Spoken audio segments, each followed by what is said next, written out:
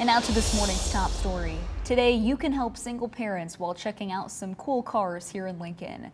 The Mr. Rod Memorial Cruise is becoming synonymous with Labor Day here in the capital city. Last year, hundreds gathered to help raise money for a couple that was injured on Memorial Day weekend following a horrific crash on O Street.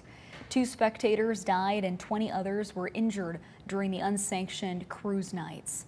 This year's event will help the local nonprofit Chariots for Hope. Its mission is to make sure single parents not only have a vehicle, but also the support they need to maintain it. And here's a look at today's planned route. The event starts at noon with riders enjoying lunch at Southwest High School. They eventually make their way to Waverly High for a mini car show before heading to Air Park for another car show and dinner. Just head to klkntv.com and click on links we mentioned for full details.